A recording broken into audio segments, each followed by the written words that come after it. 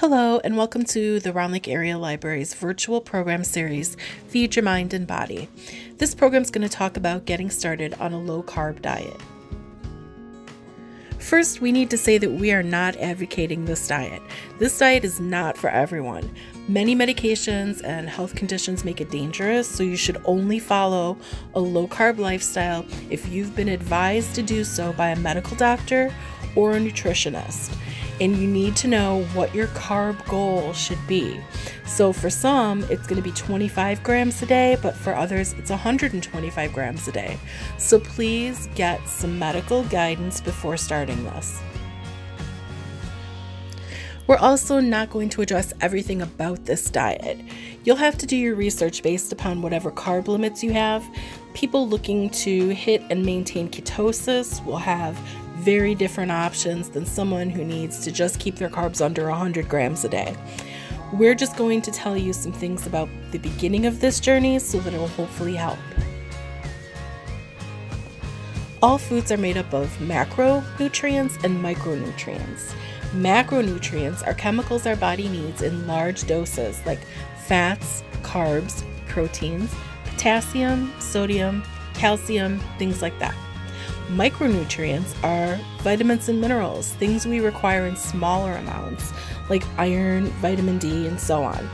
Your focus when going low carb is three macronutrients fats, carbs, and proteins. And the goal is to eliminate as many bad fats as possible, add as many good fats as possible, limit carbs, and usually limit protein as well. Those numbers you'll determine with your doctor. Okay, so how do you lower your carbs? First of all, you're going to have to learn how to read a nutrition label. What's important is to know how to calculate your net carbs.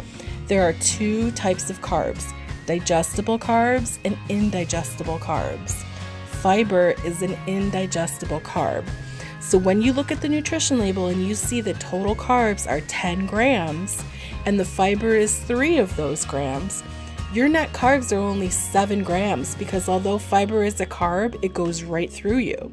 So you have to get used to looking at both the total carbs and the fiber and then calculate your net carbs. Then, as with almost every diet, you're going to be giving up a lot of foods you love bread, pasta, potatoes, sugar, tropical fruits, which aren't just mangoes and papayas, but also bananas rice, beans, and most alcohol. But there are things that you can have that might surprise you, and substitutions are very important so that you can make the losses less difficult. For instance, you can have dark chocolate. It has to be really dark, 70% or more, but chocolate is low carb without any sweetener in it. The world has also gone completely insane, finding new and different ways to try to turn cauliflower into things that it is not. I'm okay with riced cauliflower, cauliflower mac and cheese, mashed cauliflower, I'll even eat cauliflower pizza crust, but I draw the line at slabs of cauliflower being fried and called a steak substitute. That's subjective, and you can decide how many things you'll allow cauliflower to pretend to be. You can also use various squashes in place of pasta, like zoodles and spaghetti squash. They also sell shirataki noodles, and I should warn you if you've never dealt with these. They are noodles made of the root of a yam, and if you don't research this in great depth and find the right brand, you could end up with these slimy tendrils that reek of algae or fish so strong it'll take your breath away. And you have to rinse and soak them for a long time to get rid of that odor and taste. And even then, you can only use them in dishes with very strong flavors so that it'll overpower that fishiness. Much happier substitutions are the variety of wraps available, veggie fries, low carb pancake or waffle mix, a variety of sugar substitutes, nut flours, and dairy to the rescue. These are items that are becoming more and more accessible. More nut flours in the grocery store, more sweeteners, more flax cereals, and low carb granolas. It is much easier today than it was 10 years ago, even five years ago. If you were able to register for the program and received a kit, you got low carb wraps, packets of stevia sweetener to try, a bag of pork rinds, and a small bag of walnuts. The pork rinds and the walnuts are for snacking or for breading things, which I will show you later. You also received recipes and a spreadsheet showing you common substitutions for things you can no longer have, which I will link to in the comments for those who do not have the handout. This program will show you how to make fathead dough into pizza, spaghetti squash, and breaded chicken with either walnuts or pork rinds. Two of these dishes require marinara, so let's talk about that.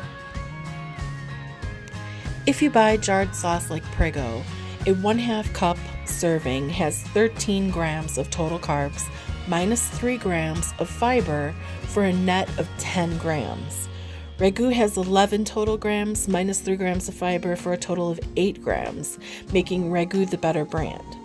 The brand with the lowest carbs is Rao's with 3 grams of net carbs, although I don't know how they do that. However, it's not cheap. At Woodman's, it costs $6.59 for one jar, $8.79 at Meijer, and $9.19 at Jewel. You can find no sugar versions of popular cheaper brands, so look for those.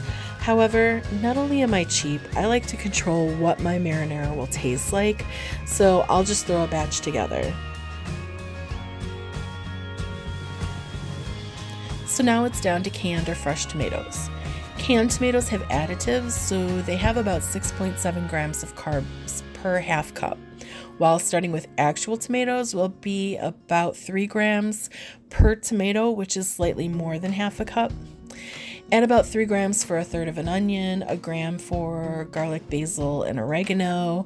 And canned tomatoes will make your sauce about 10.7 grams versus fresh or frozen tomatoes as your base, running about 7 grams. It may seem like splitting hairs if you're on a 100 gram a day diet, but if you're shooting for ketosis and only get 50 grams a day, it's a little more important. And Atkins induction phase limits you to 20 grams a day. So it's crucial, every single gram. My sauce is going to start with canned Prego Traditional as my base, and then I'm going to add canned tomatoes to that with sauteed onions and garlic and lots of basil, red pepper flakes, and oregano, which would make my sauce about 15 grams per half cup. I do this because, because my carb intake isn't that stringent and I like a lot of flavor. My sauce is going to make two recipes, and this is what their carb counts will each look like. For fathead dough pizza, half the recipe of dough will be about 10 grams. Mozzarella and Parmesan cheeses have negligible amounts of grams, less than a gram, so my 15 gram sauce plus 10 grams for the crust is 25 grams for the meal. For spaghetti squash, one cup of cubed squash is 5.5 grams, but we're going to cook and shred it, which will make it harder to measure a dense cup. But I'll estimate about a cup of spaghetti squash for my serving with 15 grams of sauce, so my total will be 20.5 grams. As a comparison, the equivalent homemade pizza with a regular flour crust is over 63 grams alone, plus sauce, making it 70 to 100 grams of carbs, whereas our low carb crust pizza is about 25. And one cup of cooked spaghetti is roughly 40 grams alone, plus sauce, taking it well over 50 grams for a one cup pasta dish. For low carb spaghetti squash, it's around 20. And keep in mind, if you have cheese to put on top, meatballs, meat to add to the sauce, or even a chicken breast. It's going to increase how much you're eating by a lot, but the carb count will barely move. We already know fathead dough has four normal ingredients, and that's what this recipe calls for no additions, so it should be very easy. Three quarters of a cup of almond flour, one and a half cups of mozzarella cheese, 2 tablespoons of cream cheese, and 1 egg. The first thing we do is melt the cheeses in a microwave or a double boiler. It doesn't take long. My microwave did the job in 30 seconds. We don't want it too hot to handle, just soft enough to mix with the almond flour and egg. When I have the cheese to the desired texture, I'll combine them. This is going to be an incredibly sticky dough. Some people prefer to put it all in the food processor, and more power to you folks, but I'm not about to make more dirty dishes than necessary. When I have things basically together, I'll start mixing by hand. Once combined, you can put it in the fridge for it to cool off for a little bit. It will be a lot easier to roll out when it's cooled. I'm a native Chicago girl, and pizza is a big part of my life. So when I make homemade pizza, I make it on a pizza stone. I have two of them. They are very well loved. Okay, so this is my technique for rolling out this dough, but you can use whatever works for you. I set a piece of wax paper on my baking sheet slash pizza stone. I plop the world's stickiest dough onto the wax paper. This helps me gauge the size and shape in relation to the pan I'm using. For me, a rolling pin is just too difficult for this dough, and I prefer to flatten it by hand, working my way from the center out, trying to keep it relatively thin without leaving it too thin or losing bits of it when I pull my hand away. I don't care about irregular edges, but I don't want little peninsulas of dough sticking out, so I bring it to a rough circle. Here's the fun part. I flip the whole thing over by the wax paper Center the dough in the middle-ish of the pan and then slowly pull the wax paper off the dough. It should release easily and cleanly, leaving a lovely flat surface. I don't know who taught me this, but it is incredibly handy. From here, I'm going to put the pizza stone into the oven at 350 degrees and let it bake. How long will depend on how thick it is, so just start monitoring it about six minutes in, or be a complete daredevil like me and judge it by the aroma. Here we have a lovely cooked fathead pizza dough. They say you can make and store uncooked dough wrapped in plastic in the fridge or freeze it, and you can wrap and store the uncooked crust as well but a crust like this, begging for toppings, isn't going to last long in my house. It will fulfill its destiny quickly. To the crust, I add the homemade sauce I put together. I like a thin crust and a chunky sauce. I also add even more oregano to this stage because pizza needs heaps of oregano to me. Then I add mozzarella, and then parmesan. At this point, if you have pepperoni, sausage, bacon, or other meat toppings, great, add what you like. Pepperoni is popular for low carbers because it has no carbs and is so good with mozzarella. If you have veggies, check those closely. Things like onions, peppers, mushrooms, and olives have carbs, and they'll add up quickly. I'm going with a simple cheese pizza, but I do like pepper on mine. Again, I require a lot of flavor. Back into the oven it will go to bake for a bit. Depending on your toppings, you'll cook to your preferred level of cheese doneness.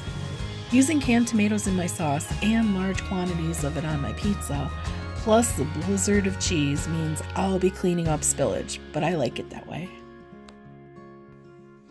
I'll let this cool a little after it finishes cooking because I don't like having to wrestle and dam a bunch of sauce and cheese. It needs to gel up a bit. Plus, tomato sauce tends to get super hot and it needs to chill so no tongues get burned. This crust likes to stick to a pizza stone, so I have to use a little bit of elbow grease to get it to release. Surprisingly, despite the large amount of cheese that went into the fathead dough, this crust is very much like a traditional crust. It browns nicely on the bottom, firms up, and is crispy. It's very hard to tell the difference between a traditional thin and crispy dough and the fathead dough. And there you have relatively easy, homemade, low carb pizza that is incredibly yummy. Next up, I'm going to show you spaghetti squash in place of pasta. Most people I know have heard of spaghetti squash, but few have tried it. I'm here to tell you it's not exactly like pasta, but it's close enough to help with the cravings. Cooking a spaghetti squash can be done in a few different ways. You can leave the squash whole, poke some holes in it with a fork, and boil it until it's tender. But most commonly, people bake them. And to do this, you have to cut the squash in half lengthwise, which isn't easy unless you have great knives and brute strength. Recently, I learned this little tip which makes a world of difference. Poke some holes in the squash with the fork randomly around it and then microwave it for 3 to 4 minutes. This softens the skin and the meat inside so that you can cut it in half with more ease. Once it's halved, scoop out the seeds inside. If you're like me and you love pumpkin seeds, save these little gems for later because they are very similar in taste and texture. Once the halves are cleaned, give them a little olive oil, salt, and pepper, and set them inside down on a baking sheet. Make sure you have a bunch of fork piercings and roast it in the oven at 400 degrees for about half an hour, depending on the size of the spaghetti squash. It should come out fork tender. Now you'll have to let it cool down a bit before you can handle it. Once the two halves are cool to the touch, take a fork and shred the insides, pulling the meat away from the skin. It should very easily turn from stringy squash into something that resembles a pile of noodles. You can leave it in the shell or serve it on a plate separately. Spaghetti squashes are like their cousins zucchinis, and they have a lot of moisture in them. If you plate the squash, it's going to leave a puddle of water on the plate. If you leave the noodles in the shell to serve as is, it will be very wet as well.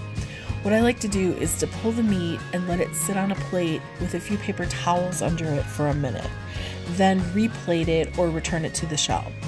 By this time, it's fairly cold, and I'll have to microwave it for 30 or 60 seconds just so that when I douse my hot marinara on it, it won't cool everything down too quickly. Depending on the size of the squash, I estimate about one quarter of the squash is a cup, so it should yield four servings, two out of each half. Keeping that in mind, I'll make sure not to exceed a full cup of sauce for each spaghetti squash half.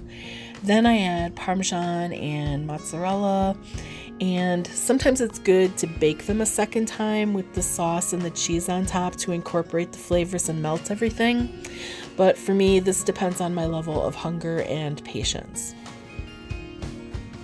Spaghetti squash as pasta has a little more crunch to it than flour noodles do, but their neutral flavor is perfect for flavorful sauces.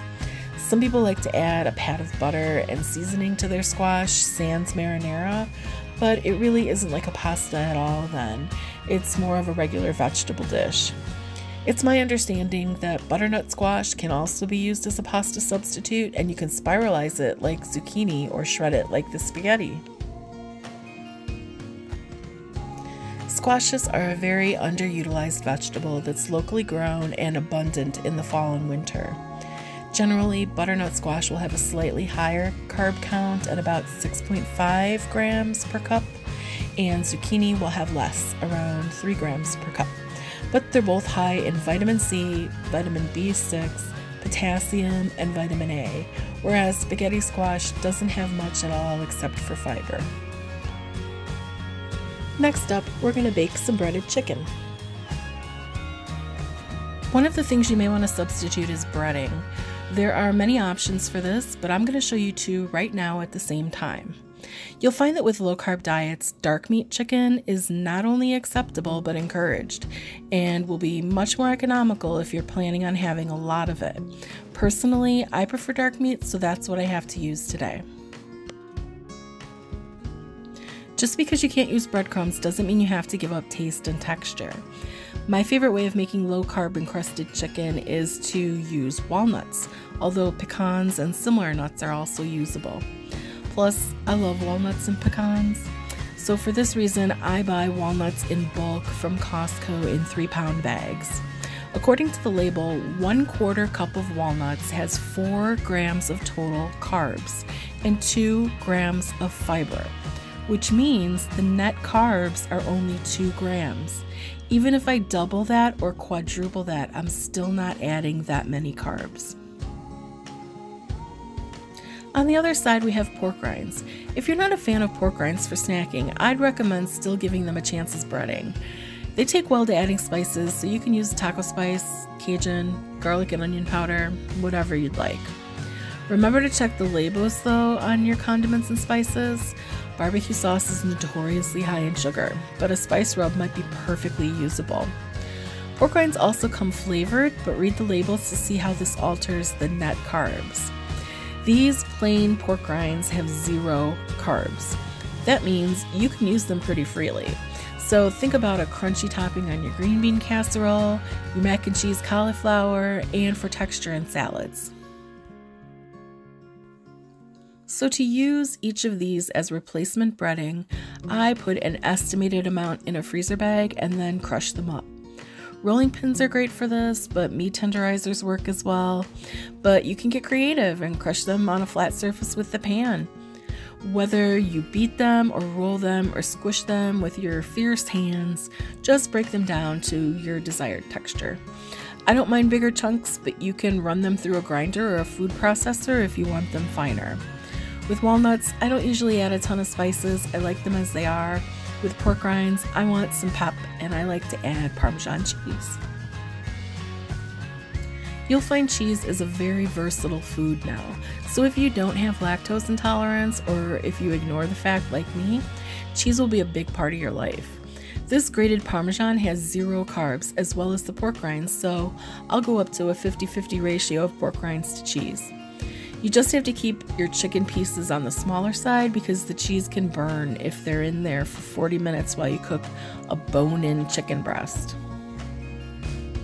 To prep these chicken thighs, I rinse them and dry them with a paper towel.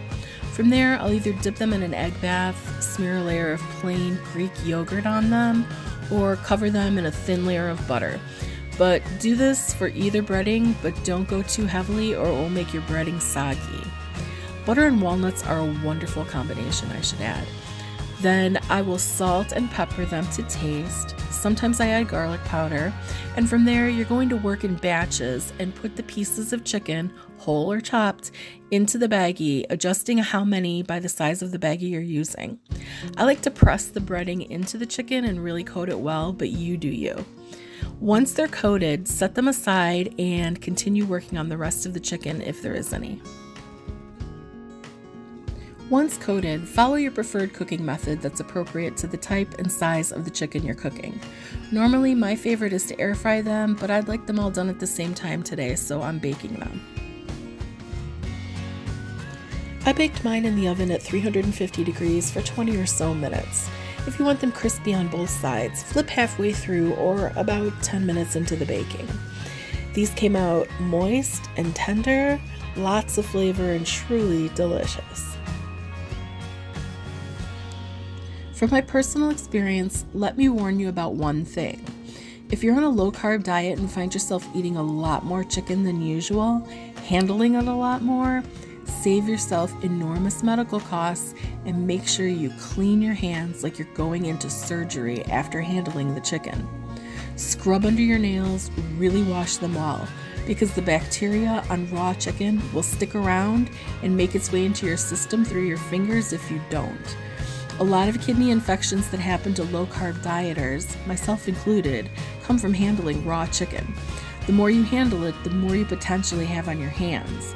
Do whatever you have to do to stop biting your nails if that's one of your habits. Anything that raw chicken touches needs to be treated like it's infected so you don't infect yourself or others. There are so many recommendations we can share, and I'd first like to mention a few blogs and Facebook pages to follow, like Low Carb Yum, Low Carb Zen, Low Carb Keto Diet, Ketogenic Recipes, and although it isn't specifically a low carb site, Skinny Taste will often give low carb options for recipes she shares, which are some of the best recipes I've encountered so far. There are low carb breads on the market, but they are usually very crumbly and fall apart if you attempt to butter it, and peanut butter is impossible. Healthy Life is a local bakery, and their products are available at Walmart, Woodman's, and occasionally you can see some of their products in stock elsewhere. They have bread, English muffins, and buns that are the closest to regular breads. Also, bread isn't necessary anymore. We've all seen the bunless options from restaurants where they substitute lettuce for the breads, but wraps have become very common, and low carb tortillas and pitas are quite good, often veggie based or using nut flours. Riced cauliflower is a fair substitute, and they even sell cauliflower already riced now that you can get so you don't have to break it down yourself. I find that it still tastes and feels like cauliflower unless you turn it into something with strong flavors like Mexican rice or Cajun. Desserts are still quite possible. If you use a nut flour and an alternate sweetener, you can have many things you didn't think possible. Cheesecake, pastries, cookies, and chocolates, all possible. NutraSweet, Splenda, Stevia, Swerve are probably the most popular sweeteners because their flavors are strong and close to sugar. Xylitol is an up and coming option, but it's highly toxic to dogs and some other pets, so please be very careful with animals in the home. Different sweeteners are better and worse for various things, so read up about them and know that some will give you diarrhea, so you should be eating those in small doses. Not all vegetables are low carb, so look things up whenever you need to. As a whole, leafy greens are the lowest, followed closely by other green vegetables like asparagus and green beans and cauliflower. Slightly higher would be broccoli and peppers, and then squashes. You'll want to avoid corn, potatoes, peas, and sweet potatoes. When in doubt, look it up. The same applies even more so with fruit. Some surprising fruits like grapes and cherries have the highest carb count. You'll want to stick with berries, lemons, and limes. Melons are a bit higher, as are apples, nectarines, and peaches. The largest amount of carbs are in tropical fruits like bananas, pineapples, and mangoes, as well as oranges and pears. A very general rule is the warm weather growers are the ones you should avoid, although there are exceptions to that rule. Berries are always the safest way to go. Cheese is a big part of low carbing. You can make chips out of Parmesan by simply dropping a pile onto a pan and baking it, and it's innately salty so you don't have to add any. They're also good in salads and pair nicely with salsa and other dips. If you make a larger pile of cheddar or Parmesan, when you take it out of the oven and it's still a little flexible, it can be bent and turned into a taco shell or a wrap. Plus, many sweeter things are made from soft cheeses like cream cheese. There are even instructions out there on how to turn cheddar into popcorn. Finally, I'll touch on fats, which we could do an entire program on alone. We're all hearing that not all fat is bad fat, and we know that avocados and nuts are full of good fats. But for low carb diets, you're going to have to get used to seeing butter, lard, and bacon grease frequently used in many recipes. Eggs are also a staple with their myriad of possibilities, and dairy is something you'll learn to lean heavily on, like cheeses and plain Greek yogurt, sour cream, heavy cream, and unsweetened nut milks. Fats are essential for good health, and when humans were evolving, a huge leap occurred when they learned to hunt and eat fatty meats because fat feeds the brain. While it may not specifically make you smarter to consume more eggs, healthy fats do a number of necessary things in the body, including having some control over absorbing, breaking down, and releasing chemicals like vitamins, making energy, and cell production. Common sweet snacks on a low carb diet are referred to as fat bombs, which are made of things like unsweetened cocoa, cream cheese, coconut oil, and other flavorings you will definitely need to have a handful of fat bomb recipes you like in your repertoire. However, the big bad wolf of the fat world is trans fats, and you should always avoid these. And that wraps up our program introducing you to a low carb lifestyle. We thank you for joining us and we wish you well on your journey through low carbing. We'll see you next month for Feed Your Mind and Body Soups.